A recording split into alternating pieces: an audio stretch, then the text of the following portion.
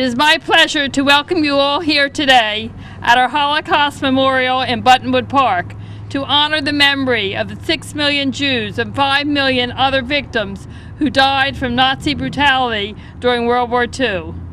Today, too, we remember the survivors who are no longer with us, and also Mr. James Wilcox, the co-chair of our Holocaust Education Committee, who dedicated his life to the teaching of world genocide. Tonight's program is in Jim's memory. This monument, dedicated in 1998, was the dream of Abraham Landau, a survivor of 13 camps whose book was published last year. On the monument are the names of many of the camps and also the number that Mr. Landau was branded with in Auschwitz. The monument is a symbol for school children and the community to remember and to reflect on the past to make sure that such horrors will never happen again. This year's theme, The Problem of Evil, Choices Matter, reflect the choices that survivors had to make in the camps, that hidden children had to make separating themselves from their parents, and their choices that our own soldiers had to make. We observe Yom HaShoah today, April 29, 2012, 67 years after the liberation of Dachau on April 29, 1945. It was a Sunday that year, too, when the 7th Army, the 42nd Rainbow Division, and the 45th Thunderbird Division liberated Dachau. Approximately 32,000 prisoners were freed then. Several of the American soldiers who were there that day were those who came from New Bedford. These heroes among us, Nate Barry, Norman Chart Chartier, Eli Heinberg, Walter Lalore, and John Kinney were in Dachau to free the prisoners, and they also saw firsthand the true horrors of Nazi brutality. Today, World War II is now history, but it is important for us to remember each year, to reflect, and to say, never again. The mayor of New Bedford, Jonathan Mitchell, remembers one of these heroes because John Kinney, his grandfather was one of the liberators of Dachau. I am pleased to present to you the Honorable Mayor of New Bedford, Jonathan Mitchell.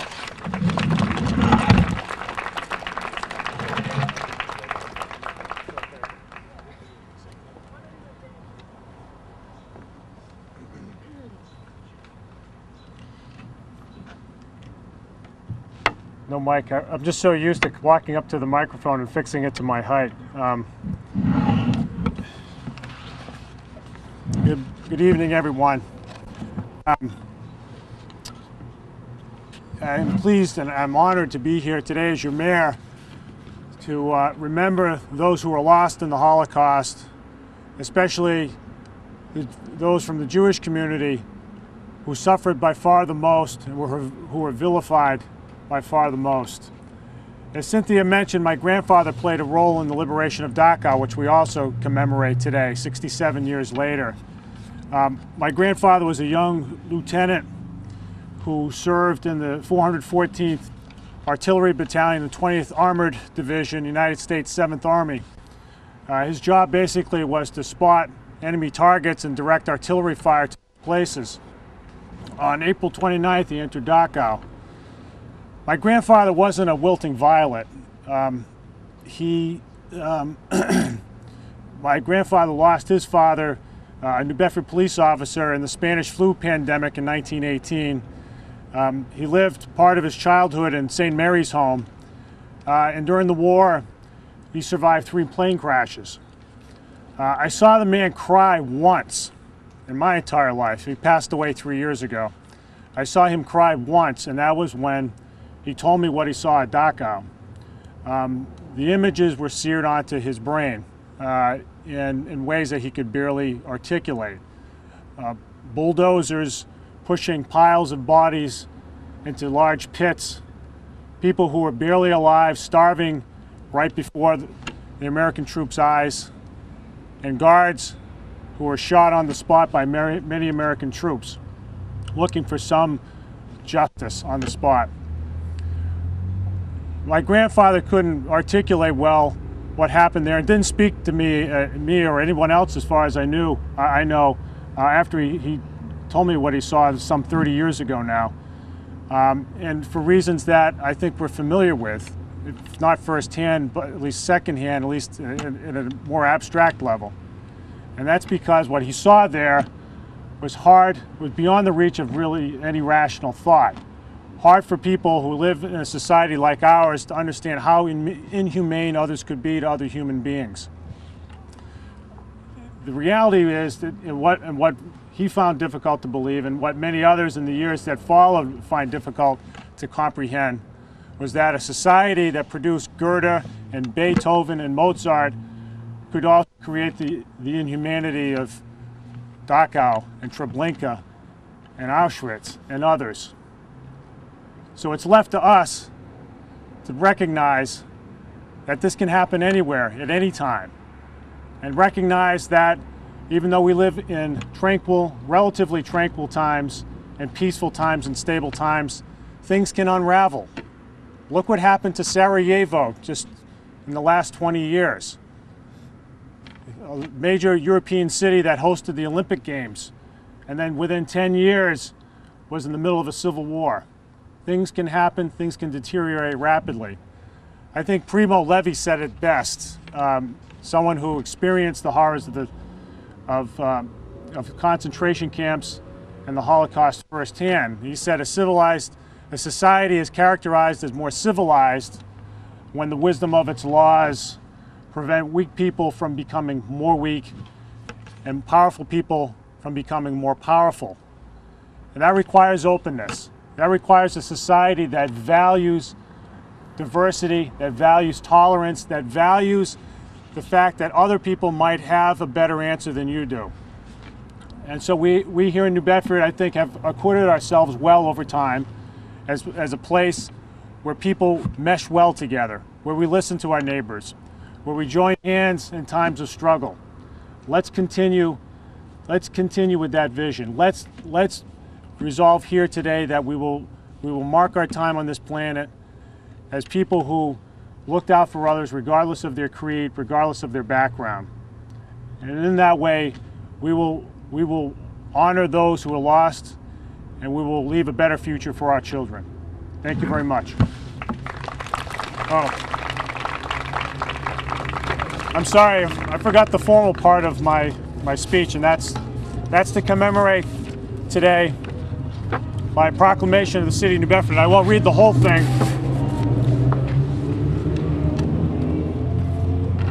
Let me, uh, let me read the pertinent part.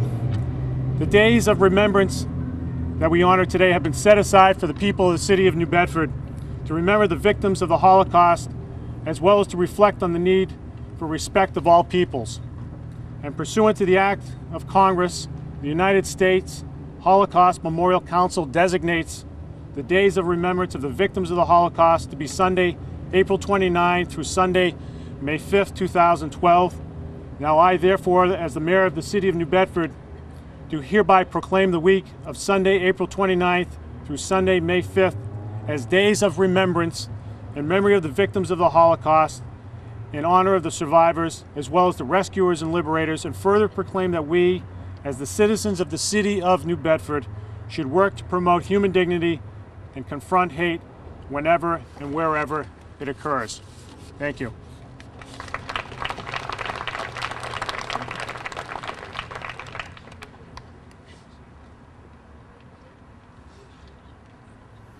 El Rachamim Shochen Vamromim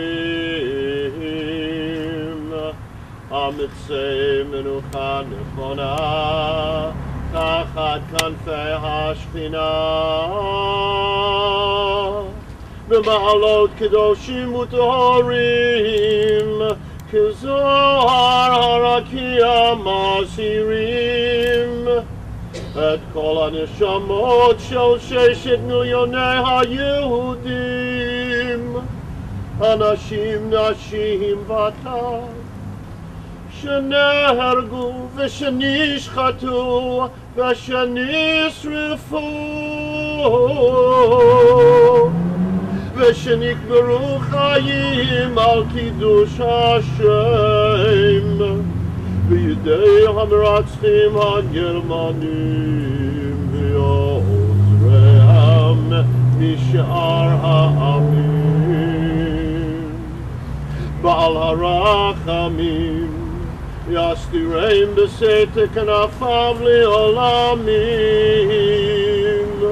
ויצרור בצור החיים את נשמותיהם בגן עדן תהא מנוחתם ויקומו לקצי עמין לחיותם Everybody please say with me, Amen. Amen.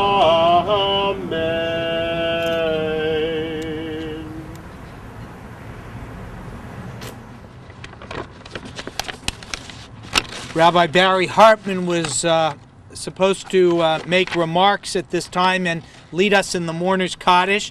Uh, unfortunately, he had to attend to a funeral uh, out of town and therefore could not be here tonight and uh, obviously, regrettably, cannot join us. I'm going to ask that you turn to page four. In just a moment, we're going to do the mourner's Kaddish. But first, uh, a few remarks of my own, if I might.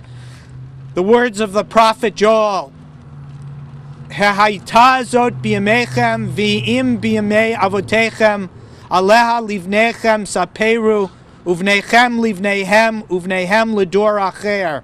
Has the like of this happened in your days, says the prophet, or in the days of your fathers? Tell your children about it, and let your children tell theirs, and their children the next generation. We are here not only to remember, but to speak.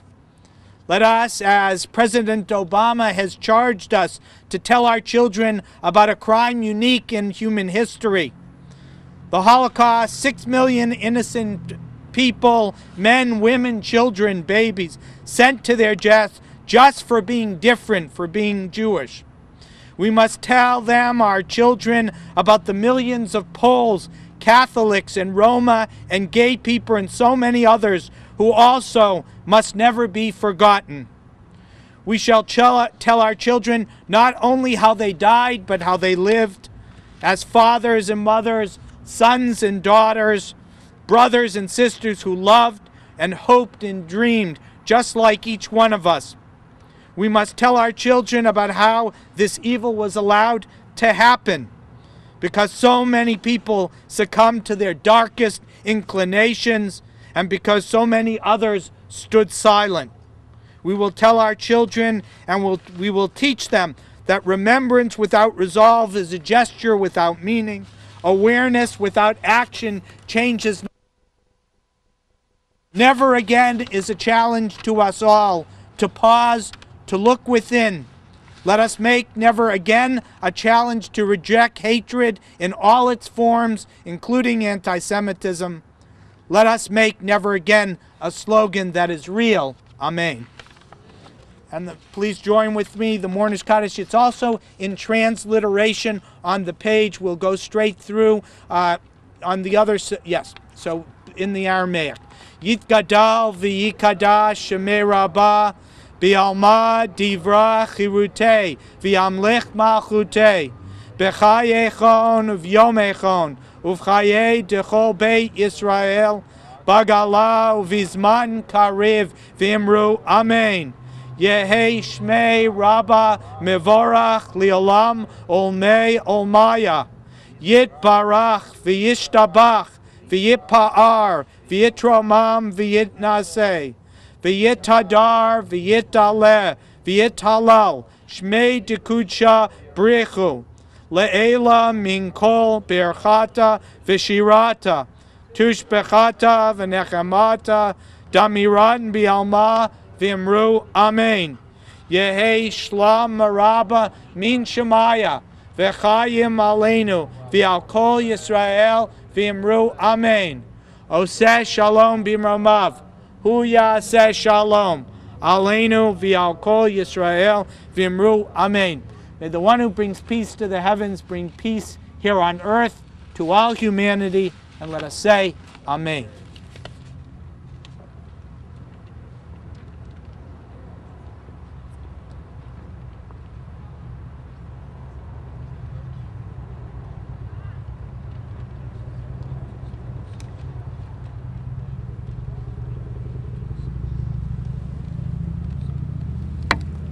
Good evening.